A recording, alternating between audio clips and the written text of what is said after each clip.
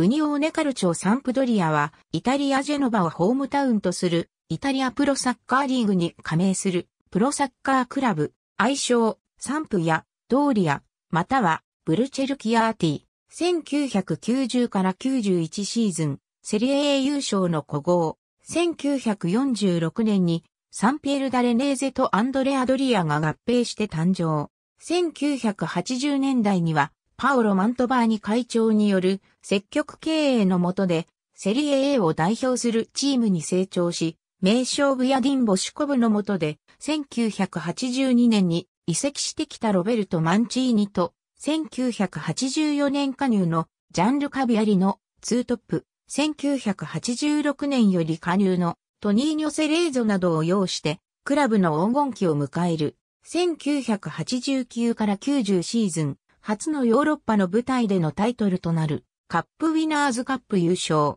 1990から91シーズンには初のセリエ A 優勝を果たし、1991から92シーズンにはチャンピオンズカップ決勝に進出。決勝では FC バルセロナと互角に戦うが、エースのビアリが決定的チャンスを決めきれず、延長のスウェクーマンに直接 FK を決められ敗れた。1992年にビアリがユベントスへ移籍。1993から94シーズンには、ルート・グーリットやデビッド・プラットらスター選手を獲得し、セリエ A 優勝争いを演じ、3位、コパイタリア優勝の成績を残した。1995年には、カランブー、セードルフラが加入したが、再び黄金期は訪れず、1997年には15年間プレーしたクラブの顔とも言えるマンチーニが移籍。その後は、資金難により1998から99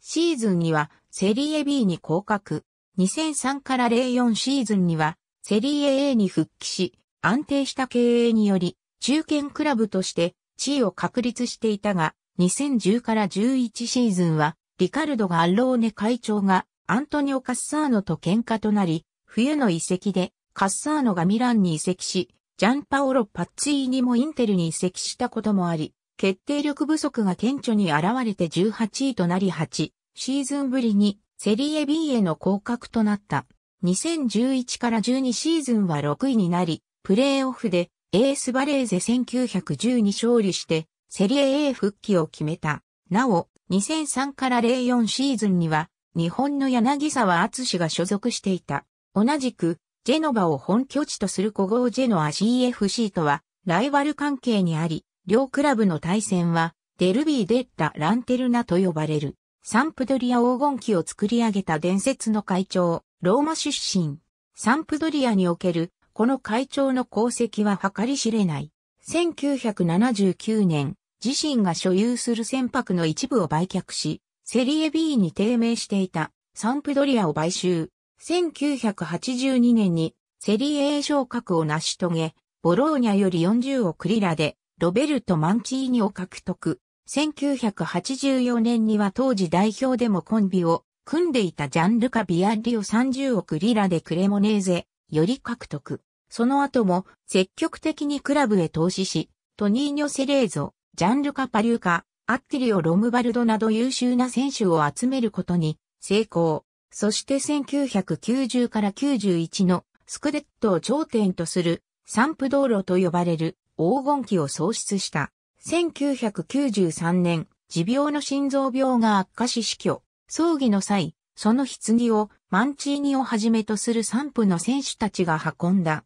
映像は、ジェノバ市民のみならず、多くの人の涙を誘った。パウロ・マントバーニの息子、パウロの死後、会長に就任。在任中は、シニシャ、ミハイロビッチ、クラレンス・セードルフ、クリスティアン・カランブー、フアン・セバスティアン・ベロンなど優秀な選手を集めたもののクラブの財政状況の悪化から長く引き止めることはできなかった。父パオロとは異なり、クラブの財政悪化によりビジネスライクに物事を運んだため、優秀な選手を集めるもののチーム強化には至らなかった。さらにチームの象徴であるマンチーニとの確執も表面化。96から97シーズンを最後に、マンチーニは監督であったエリクソンと共にラツィオへ去った。98から99シーズンはアリエル・オルテガやヴィンチェンツォ・モンテッラを要したもののチームとしてはうまく機能しなかった。さらに監督の解任から再任騒動などフロントの対応のまずさも露呈し、